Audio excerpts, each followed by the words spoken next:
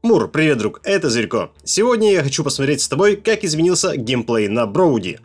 Потому что вначале он позиционировался как ваншотер. Аннигиляторная пушка! А в бою выглядел вот так.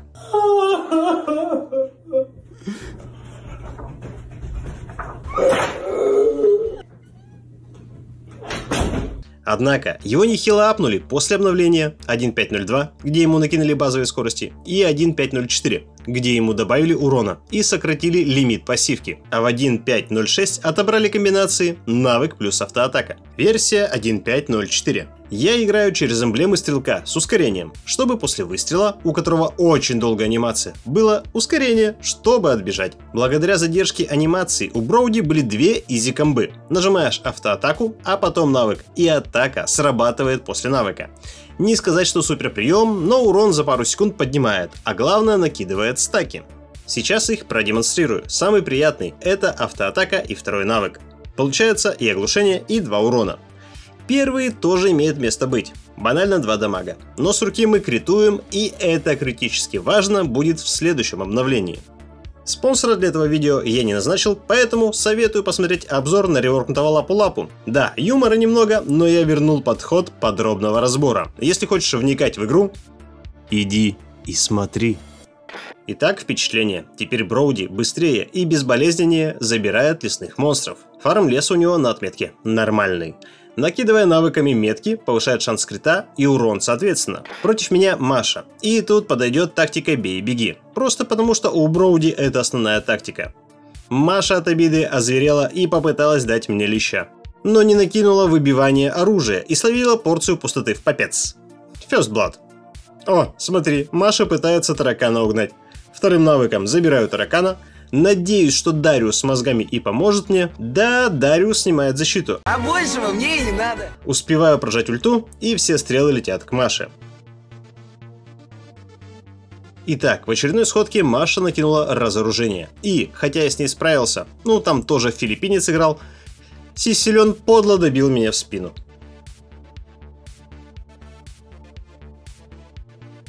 Тут Фаша случайно прикрывает мне спину, и через пару секунд я делаю ошибку. Дело в том, что второй навык, как прыжок, действует и на крипах, что непривычно в нашей игре. Такие навыки обычно лочатся только на героев. Это я не учел и влетаю в толпу. Понимая, что надо либо отдать себя подороже, либо заиметь посмертного фарма, я жму ульту и выживаю за счет дополнительного навыка.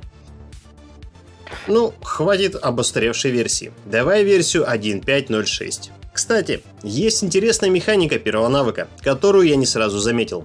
Метки ставятся на всех врагов, героев, крипов, монстров, но если первый навык пересекает несколько целей, метки на последнюю цель складываются. То есть, если впереди трое, а сзади один, и первый получает одну метку, а четвертый все четыре, и можно сразу ультовать.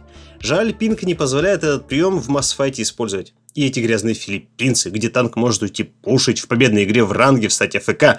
А, ну да хрен с ними. Может у него там хижину волной унесло. Или играет вместо него ручная обезьянка, э, то есть брат. И вот как это применяется. Я замечаю, что в кусты зашла Лейла. Накидываю через крипов первый навык. И жму ульту плюс фраг. Броуди идеален для засадных действий. Вылетаем в реворкнутого лапу-лапу. Оглушаем Адету вторым навыком. Добиваем первым навыком.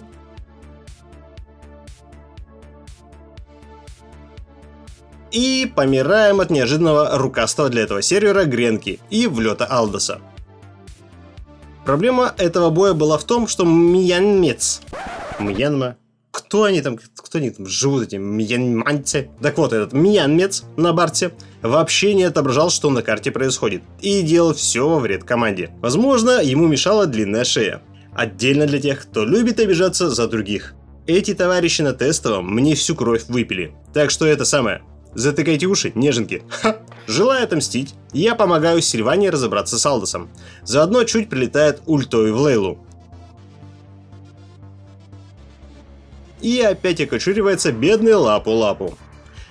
Танк же всю игру либо пытался пушить, а если ты смотрел обнову, то знаешь, что скорость автоатаки у него урезана, либо стоял тупил на базе. Или вот связка. Раздамаживаем противника, и гимнаст на Броуди прыгает в Адетту, приближаясь к Лейле, убивая обоих.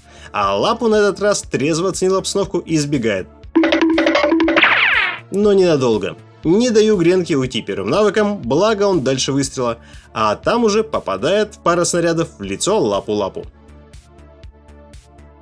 Ну и последний бой. Вот, кстати, сборки играбельные в данный момент. Просто на всякий случай. Стычка с Чу. Тут два минуса. Все-таки у Броуди долгая анимация, и ему очень нужен кто-то с контролем, желательно танк. И благодаря пингу я не могу зониться, так как я бы этого хотел. Забираю черепаху, замечаю над собой знак Натали и бегу к своим. А что, вдруг прикроют? Добиваем Чу и из жадности бегу за Клаудом. Оставляю первый навык на добив, потому что с руки реально сильнее.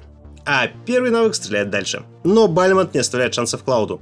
Кто-то скажет, что он состилил, но это фигня. Главное не упустить противника.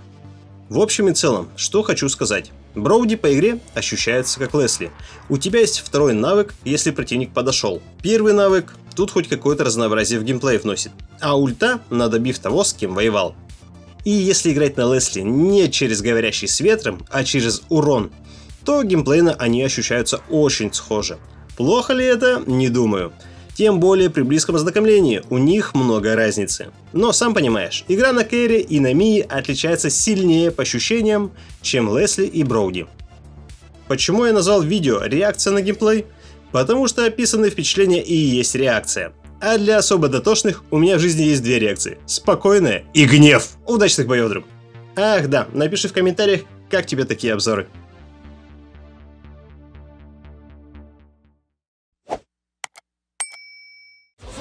смерть, тупый яд, так ушел мертвый отряд. Они жили, что победить, что любовь, то уже не